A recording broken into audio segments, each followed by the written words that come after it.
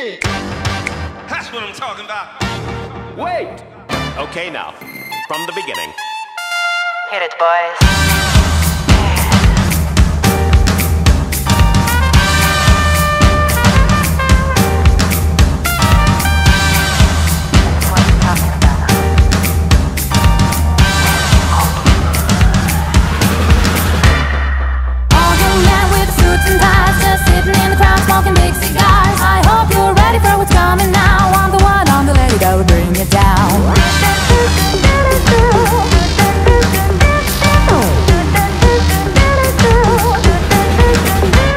There's a drunk on